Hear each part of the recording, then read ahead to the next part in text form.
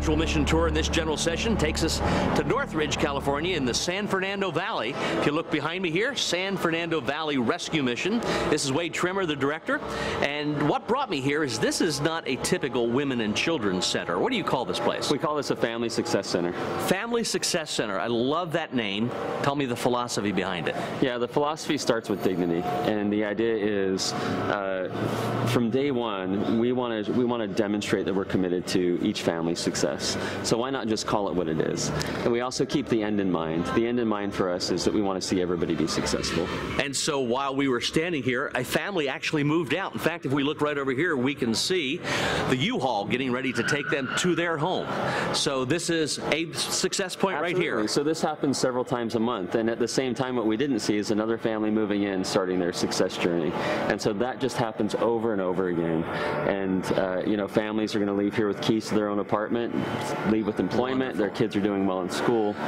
So let's go in and see what you're doing inside. Well, now we're inside the Family Success Center. Uh, I love your decor in here. Did you decorate the place? So we, we actually had professional decorators come in, and the idea was make it feel like home. Make it uh, really speak to our values of dignity, enhancing dignity, Right, right. and treating others as well as we want ourselves to be treated. And I see we have a family checking in here behind us. Yeah, absolutely. So this is their first day here, and they'll uh, this is their new home. So in here's the dining room. Let's take a look at that.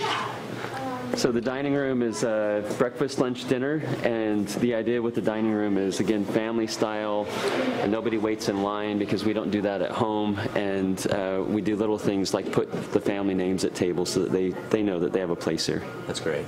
Well, we're upstairs in the Family Success Center in one of the lounges, and while we're sitting here, I'd like for you to talk to me about the partnerships that you have, because I, I know they're involved here.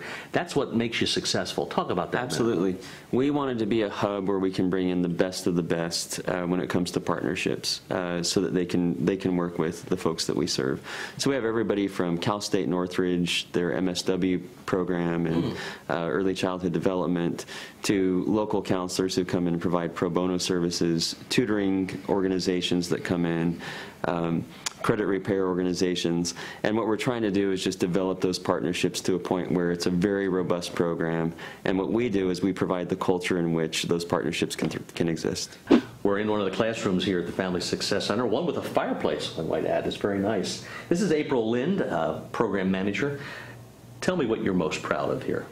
Yeah, I think um, one of the biggest challenges we see the families face is that lack of a support system, whether their family isn't able or they've burned bridges. And so we emphasize the importance of building that support system and we model it through our staff, through our volunteers, how to have healthy conflict, how to work through issues in relationships, um, and then bridge them with churches and other um, institutions that kind of can help be that when they leave. Give me some examples of some of the institutions you work with. Yeah, um, it's a lot of churches that come in and do Bible studies and kids classes and different things, um, but also therapy groups. And um, one of my favorite stories, we had a family that went through a really hard time, went through um, a, a miscarriage, unfortunately, but they had moved out about two months before, and the church that was helping them was bringing them food, was providing support, and became this family for them that they wouldn't have known them if they hadn't been here. I think it's interesting how you're remodeling this, and uh, I think you should tell everybody what you're going to do with this unique piece of your property. Yeah, so one of the things we're thinking about is, uh, you know, there's a national trend of uh, college students who are homeless. And we have uh, a Cal State campus just up the street. And so what we're thinking about is housing uh, homeless college students in this space. So you probably find them sleeping in their cars in different places here, and this would be an opportunity to actually provide facility for them. Absolutely. Yeah, I mean, it's again, it goes back to that idea of success and thriving. And Right. it's kind of hard to go to school when you're sleeping in your car and you don't know what you're going to eat at night. And so uh, we think that we can really develop a model here that others can, can replicate. So in our virtual mission tours, we've been showing you some of the unusual approaches our members are taking to serving hungry, homeless, abused, and addicted people. You saw San Fernando Valley Rescue Mission's Family Success Center. Uh, this is another one of their ministries, and it's not this church, but this is a very interesting church that's kind of related to where you're doing this ministry. Talk, talk about this church first So we're, of all. we're in North Hollywood, and this is St. Charles Borromeo Church, which was Bob Hope and his wife's uh, church. Wow. And one of the gifts to the one of their gifts to the community was is this beautiful hospitality center behind Right us. over here, yeah. And we partnered with them for uh, our mobile shower unit. And you park over here, and you're here how often?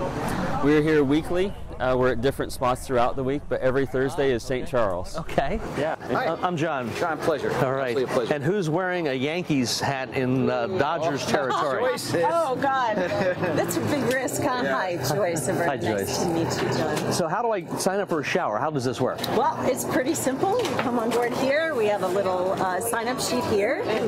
Alice provides Hello, Alice. a nice... here for such a short time. Yes. Well, It doesn't take that long to get a shower. and uh, you're giving out the towels, and you're giving and out the the toilet kits. and the socks. So important. Dry socks. Yes, Yeah, yeah. it does help. So I would go in here. I see a beautiful shower. You go in here, you got a shower. You Take a sit- shower. Show us how it works. Well, I, I got to get my hygiene kit. I got to get my hygiene kit. Thank you very much. And my towel. Thank you. All right. All right, I'm going to take a shower. And when I go in, you got to push the big blue button. That sits for eight minutes. That's how long I got. I, you got eight minutes. All right. All So. I'm going to pull this out here. There we go. Time's up. Come on. Okay, I'm out. Thanks. That was a great shower. It was an unbelievable shower. I, I just appreciate that. So, Well, thanks for showing me the mobile shower unit. And you were telling me that Scotty actually has another ministry. In addition to serving the people who are coming for showers, some of these people who come and volunteer are part of a small group. They don't know it's a small group, but but Yeah. what's he do with them? Yeah, so what he's doing is what Christ what Christ does is bring, bring us into community. And so he's brought this small group of guys who are out on the streets and they they are part of a small group. They just again they don't know it. They go out to lunch after the shower uh, sh- shower operation. And they talk about We talked about sobriety, relationship with God, just life in general. well, thanks for letting me hang out here with you. I love what you're doing. Thank you. And uh, we'll come back and see you again sometime.